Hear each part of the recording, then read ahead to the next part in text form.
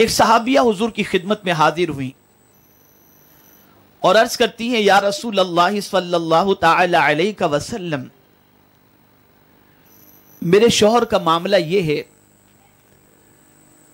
کہ جب ان کو بہت زیادہ خواہش ان کے اندر انگڑائیاں لیتی ہیں، تو میرا قرب وہ حاصل کرتے ہیں۔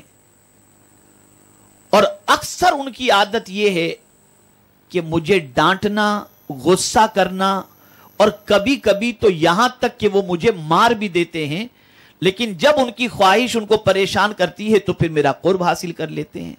سرکار نے ان کو بلایا۔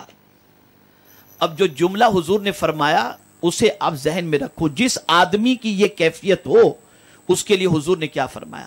میرے آقا صلی اللہ علیہ وسلم ان سے فرماتے، تمہارا چہرہ سیاہ ہو،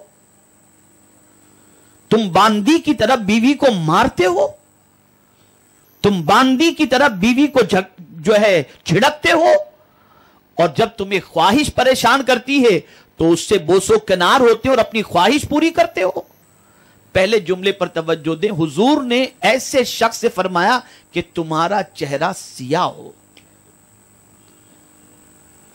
تو ہمیشہ اس چیز کا خیال رکھنا چاہیے کہ بیوی کے سلسلے میں ڈانٹ ڈپٹ مار، دھاڑ، یہ ساری چیزیں اچھی علامت نہیں ہیں، بلکہ ہونا یہ چاہیے کہ بیوی کے ساتھ اچھے اخلاق سے پیش آئیں۔ آپ گیو اینڈ ٹیک کی طرف توجہ دیں، آپ اچھی طریقے سے اس سے پیش آئیں گے، وہ بھی انشاءاللہ العظیم جواب میں آپ کے ساتھ اچھی طریقے سے پیش آئے گی۔